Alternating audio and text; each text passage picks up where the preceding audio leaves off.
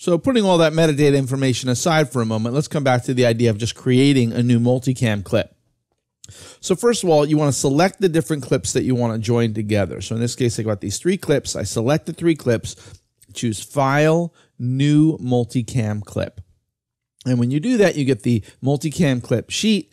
And here, this appears to be very simple information here. You can name it. And let's just name this Silver Ring Multi cam. And this check mark here, use audio for synchronization. Now, this is what, if you do this, it's going to analyze the clip's audio and it's going to sync them up by aligning the waveforms. And that's the same thing it uses if you choose that uh, synchronize clips command that we covered in an earlier lesson. It's basically going to examine the waveforms and just align the waveforms. And this is a really uh, effective way to uh, connect your clips and to make sure that they're in perfect sync but it is time consuming. And right now I've got very short clips. It doesn't take that long. But if you're working with a lot of footage and you already have other ways to sync it, you don't need to go through that process. You can uncheck that.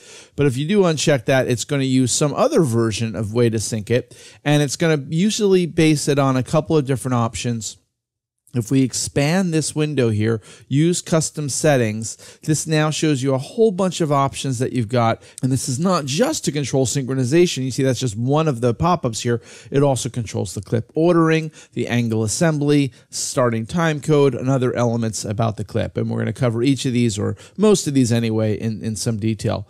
But to start, first of all, you see that each of them have an automatic setting, which is nice and convenient. If you don't really know, you can leave it on the automatic setting and it will generally do the right thing.